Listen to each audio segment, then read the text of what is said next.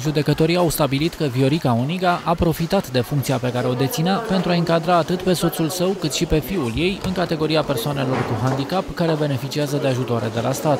Prin sentința pronunțată astăzi de Curtea de Apel Ploiești, uh, în cadrul soluționării fondului cauzei, uh, inculpata a fost condamnată la pedeapsa rezultantă de 8 luni de închisoare, cu suspendare condiționată a executării pentru săvârșirea două fapte de conflict de interese.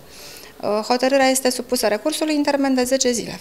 Oniga așteaptă mâine decizia magistraților Curții de Apel în dosarul instrumentat de DNA. Medicul a solicitat eliberarea pe cauțiune, iar Tribunalul Prahova a respins cererea Vioricăi Oniga. Recursul se va judeca mâine la ora 10.